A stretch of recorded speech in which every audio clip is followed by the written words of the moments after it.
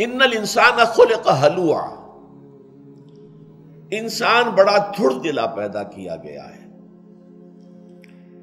इजामसहु शर्र जजुआ।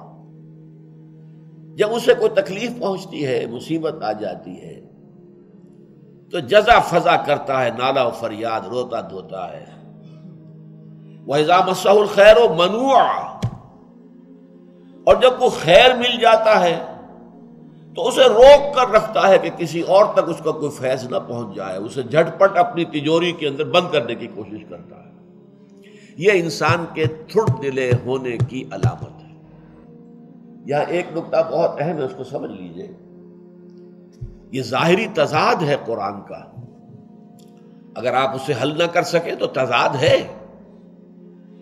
एक तरफ़ कुरान कहता है लकद खलक इंसान फ़ी अहसन तकवीम। हमने इंसान को बेहतरीन हिसाब से पैदा किया।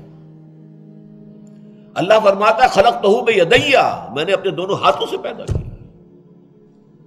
वलकद करमना बनी आदम व हमल ना हम फिल बर वल बाहर।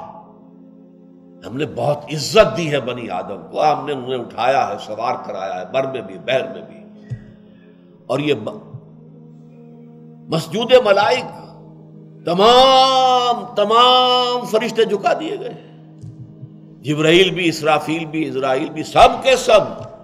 फसद मलाय का तो कुल मजमाऊ जरा अंदाज़ा कीजिए। उसे खलीफतुल्लाह कहा गया। एक तरफ़ ये है, एक तरफ़ कुरान कहता है खोलकल इंसान ज़ीफ़ा इंसान कमज़ोर पैदा किया कान अल इंसान आजूला। इंसान तो बहुत जल्दबाज है। खुलकल इंसान मिन आजल जल्दबाजी तो इंसान की सरिश्त में दाखिल है।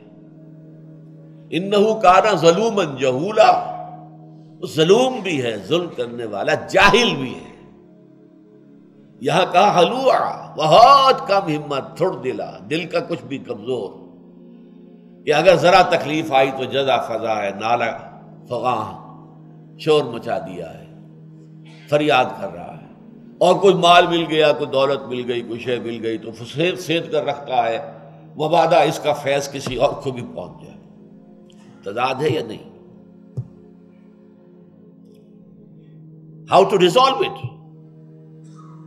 ये जो इंसान का मुरक्कब वजूद है, उस रूहानी वजूद के एतबार से खलकन इंसान अमिन आसन तकवीम।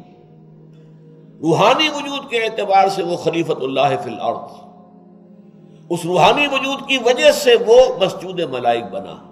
फैजा सवै तो हूँ नफक तो फ़ी है रूही फ़क़ू साजदीन। जब मैं इसकी तखलीक मुकम्मल कर दूँ और उसमें अपनी रूह में से फूंक दूँ तो गिर पड़ना उसके सामने सजदे में।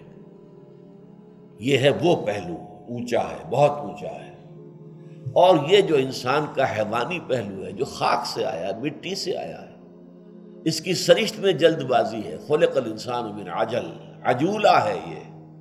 ज़यीफ़ है ये। खोलकल इंसान ज़यीफ़ा जलूबन जहूला। हलुआ। ये है इंसान का हैवानी वजूद। उसके एतबार से वो निचलों में सबसे नीचे है। अब ज़ाहिर बात है कि इंसान के अंदर ये वजूद जब दोनों जमा हो गए तो अब दो ही बातें होंगी। या हैवानी वजूद गालिब आ जाएगा, रूहानी वजूद पर। तो इंसान हैवान बन जाएगा, बल्कि हैवान से भी कमतर। लहम कुलूम लायफ कहू न बेहा, व लहम आयुन लायुसरू न बेहा, व लहम आजान यसमाऊ न बेहा। उलाय का कल अनाम बलहुम अदल। ये चौपायों के मानंद है, बल्कि उनसे भी कमतर, उनसे भी गए गुजरे। लेकिन चौपाए तो पैदा उसी सतह पर किए गए थे, उस पर वो बरकरार है। ये कहाँ पैदा किया गया था? कौन सी रूह इसके अंदर फूकी गई थी? मस्जूद मलाइक बनाया गया था। लेकिन अगर उस रूह के ऊपर यह हैवानी वजूद गालिब आ गया है तो यह हैवानों से बदतर हो गया। या ये होगा कि अगर वो रूह गालिब आ गई, मुतमक्किन हो गई पूरे वजूद के ऊपर, और उसने काबू पा लिया इस नफ्स हैवानी पर तो फिर, या नफ्सुल मुतमइन्ना